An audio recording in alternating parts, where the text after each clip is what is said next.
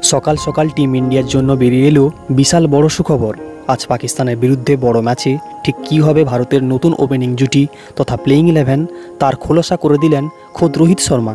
হ্যাঁ বোস গত সাত মাসে ভারতীয় টিম নতুন কোচ রাহুল দ্রাবিড়ের অধীনে রোহিত শর্মার পাশাপাশি হুডা, কোহলি, ঈশান কিষান, কে এল রাহুল, পান্থ ও ঋতুরাজ গাইকোয়াড়ের মতো মোট সাতজন আলাদা আলাদা ওপেনারকে টি টোয়েন্টি ক্রিকেটে ব্যবহার করে ফেলেছে। তাই এমন অবস্থায় আজ এশিয়া কাপের ম্যাচে পাকিস্তানের বিরুদ্ধে কী হবে ভারতের ওপেনিং জুটি তথা প্লেইং ইলেভেন এবং ঠিক কী বড় সুখবর বেরিয়ে এলো সবার জন্য, তাই আজ ফটাফটভাবে দেখে নিব এই ভিডিওতে।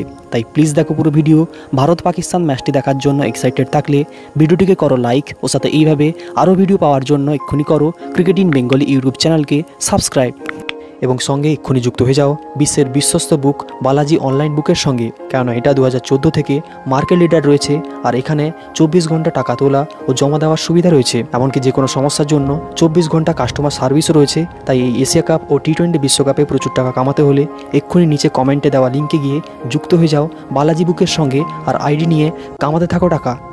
তো বস টি টোয়েন্টি ক্রিকেটে বিরাট কোহলি ভারতের হয়ে অনেক আগে ওপেন করেছে। পরে লোকেশ রাহুলের অনুপস্থিতিতে সূর্যকুমার যাদবকে নিয়ে রোহিত শর্মা ওপেনিং করিয়েছে। ওপেনার হিসেবে নিজেকেও প্রমাণ করেছেন সূর্যকুমার যাদব। মাঝে আবার ঋষভ পান্তও জাতীয় দলে রোহিত শর্মার সাথে ওপেন করতে নেমেছে। যদিও তিনি ওপেনার হিসেবে অতটা আশ্বস্ত দিতে পারেনি টিম ম্যানেজমেন্টকে। এখন আবার কে এল রাহুল চোট সারিয়ে দলে ফিরে আসায় ভারত তাকে দিয়ে ওপেন করাবে নাকি সূর্যকুমার যাদব, ঋষভ পান্ত কিংবা বিরাট কোহলির মধ্য থেকে কোনো একজনকে নিয়ে ওপেন করাবে সে নিয়ে ঘুরপাক খাচ্ছে প্রশ্ন। আর এমন অবস্থায় ভারত পাকিস্তানের বিরুদ্ধে সেই বড় ম্যাচে ঠিক কোন ওপেনিং জুটি নিয়ে নামবে সে কথা জিজ্ঞেস করা হলে প্রেস কনফারেন্সে ভারতীয় অধিনায়ক রোহিত শর্মা সোজা কথা না জানালেও এক ঘুরিয়ে পিছিয়ে কথা বলেন।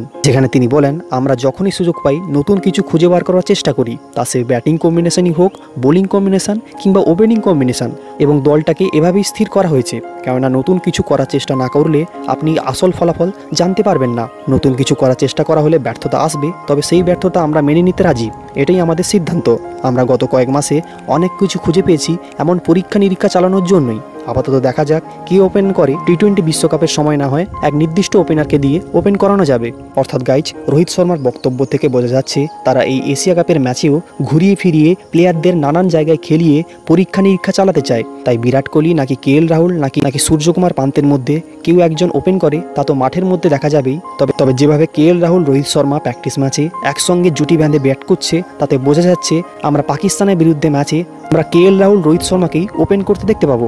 আর পাকিস্তানের বিরুদ্ধে এই ম্যাচে বাকি প্লেইং ইলেভেন কী হবে তা বললে মিডিল অর্ডারে তো দেখা যাবে বিরাট কোহলি, সূর্যকুমার যাদব, ঋষভ পান্তকে এবং বোলিং ডিপার্টমেন্টে ভুবনেশ্বর কুমার, যুজেন্দ্র চাহাল ও অর্শদীপ সিংকে। তবে মেন সমস্যা রয়েছে লোয়ার অর্ডারে কেননা যেহেতু দুবাইয়ের পিচ মারাত্মকভাবে পেস বোলার ফ্রেন্ডলি আর ভারতের ছ নম্বর বোলার খুবই দরকার এখানে ভারতের প্লেইং ইলেভেনে লোয়ার অর্ডারে দেখা যেতে পারে হার্দিক পান্ডিয়া, রবীন্দ্র জাদেজার পাশাপাশি অ্যাভেস খানকে। তো এতো ছিল ভারতের অতি সম্ভাব্য প্লেইং ইলেভেন ও ভিডিও আর গুড নিউজের কথা বললে করোনা সারিয়ে সকলকে গুড নিউজ দিয়ে এই মুহূর্তে কোচ রাহুল দ্রাবিড় ভারতীয় টিমের সঙ্গে যোগদান করে দিয়েছে।